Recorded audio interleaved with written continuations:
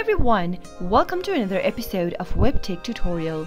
Today, I'm back with another easy tutorial on how to set price alerts on Coinbase. Keep watching the video till the end and don't forget to subscribe to our channel if you've not yet. Also press the notification bell icon so that you'll never miss another upcoming upload from us. Before starting the video, if you don't have a Coinbase account, you can sign up for one by clicking on the referral link in the description box below.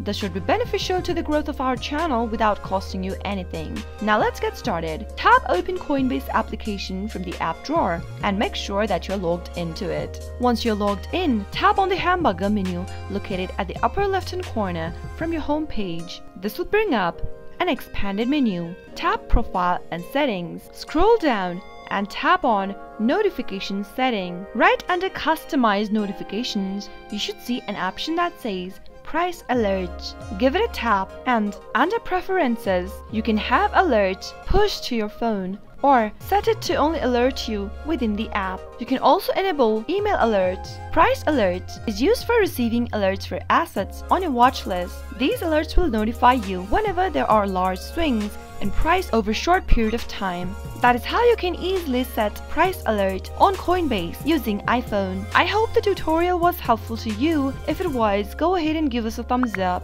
I'll soon be back with more tutorial videos like this. Thank you for watching.